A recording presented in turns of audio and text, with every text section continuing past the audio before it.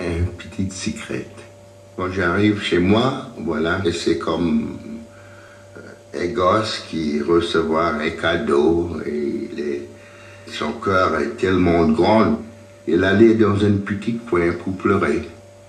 De temps en temps, j'aime pour aller regarder mon disque dans mon petite place qui est cachée tranquillement, comme ça, pour une demi-heure. Ça m'a fait un grand plaisir.